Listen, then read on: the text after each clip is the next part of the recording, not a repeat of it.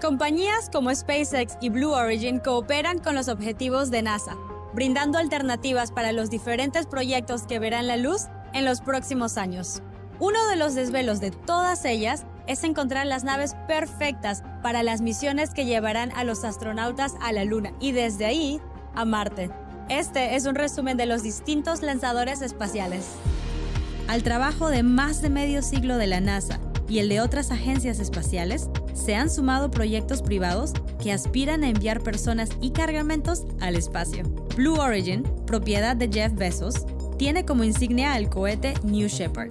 El cohete más reciente de Blue Origin fue nombrado New Glenn, en reconocimiento al primer estadounidense en orbitar la Tierra, John Glenn.